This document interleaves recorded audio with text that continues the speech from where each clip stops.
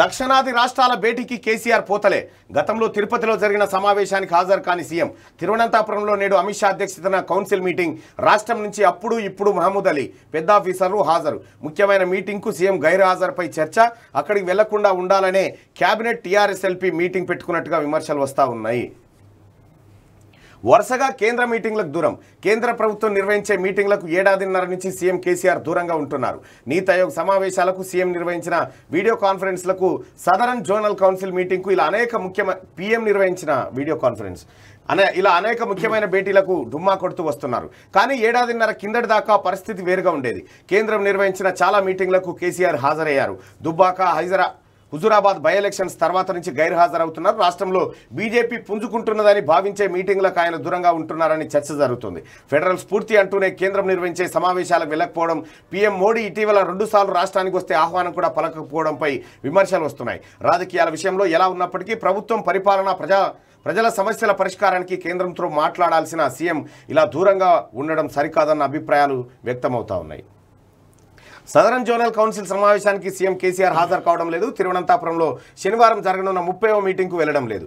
AP విభజన చట్టం హామీల అమలు ఇరిగేషన్ ప్రాజెక్టుల ప్రధాన ఎజెండాగా జరుగుతున్న ఈ భేటీకి కేంద్ర హోంమంత్రి అమిత్ షా అధ్యక్షతన అధ్యక్షత వహించనున్నారు. గతేడాది నవంబర్ పద్నాలుగో తేదీన ఏపీలోని తిరువ తిరుపతిలో జరిగిన సదరన్ మీటింగ్కు కూడా కేసీఆర్ అటెండ్ కాలేదు. అప్పుడు హోంమంత్రి మహమూద్ అలీ సీఎస్ సోమేష్ కుమార్ ఇతర ఉన్నతాధికారులు వెళ్ళారు ఇప్పుడు మహమూద్ అలీ ఆయన వెంట ఉన్నతాధికారులు వెళ్ళనున్నారు సదరన్ జోనల్ కౌన్సిల్ మీటింగ్ నిర్వహణపై ఎప్పుడో నిర్ణయం జరిగినప్పటికీ అటు వెళ్ళకుండా ఉండేందుకే కేబినెట్ పెట్టి టీఆర్ఎస్ టీఆర్ఎస్ఎల్పీ మీటింగ్ పెట్టుకున్నట్టు చర్చ జరుగుతున్నది.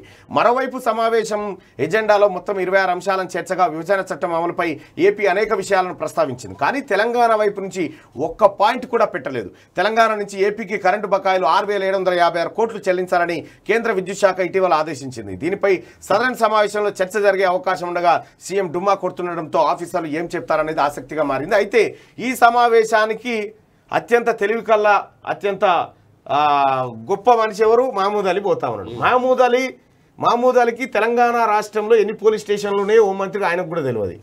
అసలు సిఐ ర్యాంక్ ఎట్లా ఉంటది డిఎస్పీ ర్యాంక్ ఎట్లా ఉంటది ఏసీపీ ఎన్ని స్టార్లు ఉంటాయి ఎన్ని వాళ్ళకు? స్టార్లు ఉంటాయి వాళ్ళ బాధలేంది వాళ్ళ సాధకాలేంది వాళ్ళ కథ ఏందని ఏమీ తెలియనట్టు కేవలం దట్టీల మంత్రి. దట్టీలు కట్టాలి చెయ్యికి ముద్దు పెట్టాలి. దీనికోసం ఆయన మంత్రి. ఈయనను ఈ సమావేశానికి పంపించినట్టే ఈ సమావేశం పట్ల కేసీఆర్ కున్న చిత్తశుద్ధి ఏందో మనకు అర్థమవుతా ఉంది. నువ్వు చెప్తా ఉన్నాగా ఫెడరల్ స్ఫూర్తి సమాఖ్య ప్రభుత్వం అని చెప్పి చెప్తా ఉన్నారు కదా. కేంద్ర రాష్ట్ర సంబంధాలు అనేటువంటి మాటలు పదే పదే చెప్తా ఉన్నావు కదా. కేంద్రం దక్షిణ భారతదేశంలో ఇప్పుడు వాళ్ళ కొడుకు కూడా చాలాసార్లు మాట్లాడు దక్షిణ భారతదేశం పెడుతుంది ఉత్తర భారతదేశం తింటుంది అని చెప్పి. మరి ఇక్కడ దక్షిణ భారతదేశంకి వచ్చి దక్షిణ భారతదేశం సమస్యలు అందులో కూడా కీలకమైనటువంటి అంశాలు ప్రాజెక్టులు ప్రాజెక్టులు నీటిపారుదల ప్రాజెక్టుల అంశం చర్చకు వస్తున్నప్పుడు నీ నీటి ఇక్కడ కాళేశ్వరం కూలిపోయింది పోయి ఓ వెయ్యి కోట్ల రూపాయలు ఇక్కడ నష్టం జరిగిందని అడగొచ్చు కదా అడుగుతలేడు. ఈ వెయ్యి అడిగితే లక్ష ఎడబెట్టాం అని చెప్పి అని అడుగుతారు కాబట్టి అక్కడి నుంచి తప్పించుకోవడానికి టీఆర్ఎస్ ఎల్పీ మీటింగు అలాగే అసెంబ్లీ సమావేశాలు అని చెప్పి కొత్త డ్రామా కట్టాడు. కేసీఆర్ ఒక అంశాన్ని మాన్ మరిపించడం కోసం ఇంకో అంశాన్ని పుట్టిస్తుంటాడు అన్నట్టు. సేమ్ అట్లా పుట్టించింది అసెంబ్లీ సమావేశాలు. ఈ అసెంబ్లీ సమావేశాలకు సంబంధించి చాలామంది ఏమనుకున్నారంటే అసెంబ్లీని రద్దు చేయబోతా ఉన్నాడు. ఇక టీఆర్ఎస్ టీఆర్ఎస్ ఎల్పీ మీటింగ్ పెడతా ఉన్నాడు. ఆ తర్వాత పార్టీ సమావేశం.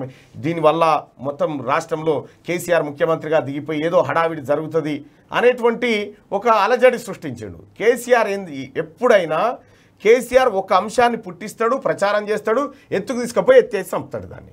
దాంట్లో కార్యక్రమమే ఇదంతా. కేసీఆర్ ఇడ అసెంబ్లీ సమావేశం పెడితే ఇబ్రాహీంపట్నం బాధితుల సమస్య ఏమైనా తెర మీదకి వస్తుందా? కాళేశ్వరంలో మునిగిపోయినటువంటి పంపుల అంశం ఏమైనా తెర మీదకి వస్తుందా? లేకపోతే land acquisition R and R ప్యాకేజీకి సంబంధించిన అంశాలు ఏమైనా తెర మీదకి వస్తాయా? ఏమీ రావు. వచ్చేది ఏంది? కేసీఆర్ కేసీఆర్ కుటుంబం సిబిఐ రావద్దు మా పర్మిషన్ లేకుండా ఉండొద్దు అనేటువంటి ఒక డ్రామా. సిబిఐ రావద్దు తెలంగాణ రాష్ట్రంలో ఎంక్వైరీ చేయనికి అర్హత లేదు అనేటువంటి అంశాలను కొత్తగా అసెంబ్లీ తీర్మానాల్లో తీసుకురావచ్చు. తీసుకొచ్చినంత మాత్రాన సిబిఐ రాదంటే సుప్రీంకోర్టు పర్మిషన్తో సిబిఐ ఎప్పుడైనా ఏ దేశంలో ఏ ప్రాంత ఏ ఏది ఈ దేశంలో ఏ ప్రాంతంలోకైనా ఎంటర్ కావచ్చు. ఇది కేసీఆర్ భ్రమ అనుకుంటుండు. ఏంటంటే సిబిఐ ఇక్కడ ఇది చేస్తుంది అది చేస్తుంది అనుకుంటు నువ్వు ఏమి చేసినా ఎంత కథలు పడ్డా సిబిఐ రాకమానదు నీ అంశాలపైన ఎంక్వైరీ జరగకమానదు